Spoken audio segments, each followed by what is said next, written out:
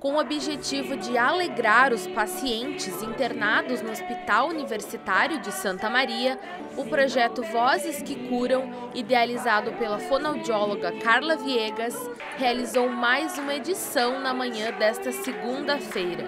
Com a participação dos artistas Léo Paim, Manu Ferraz e Dida Larruscaim, que já participaram do The Voice Brasil, e do grande músico santamariense Beto Pires, os corredores do USME se encheram de alegria e emoção.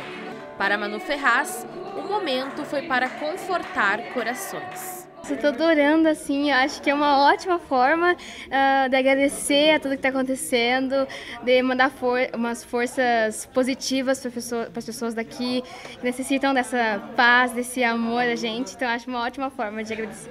Os artistas passearam por todos os corredores do hospital, mas foi na pediatria que a criançada quis participar junto. A pequena Antonella, de um ano e oito meses, bateu palmas durante todas as canções. Já Igor, de seis anos, que adora música, teve dicas de como aprender a tocar violão. Para o cantor Léo Paim, participar do Vozes que Curam foi uma satisfação. Graças a Deus, esse ano eu pude vir, porque é, é numa segunda-feira mais fácil para gente que vive de música, né?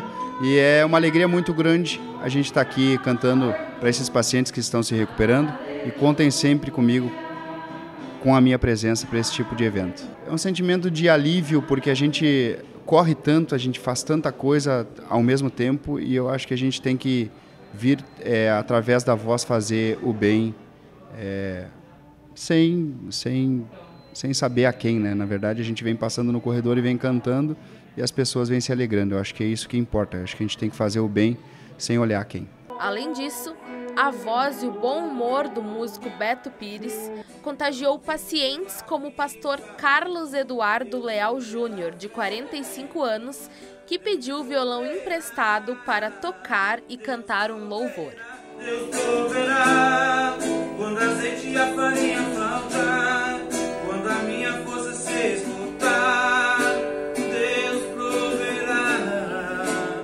Além dos pacientes, os artistas animaram também a manhã de médicos, enfermeiros, técnicos em enfermagem e demais funcionários do USM.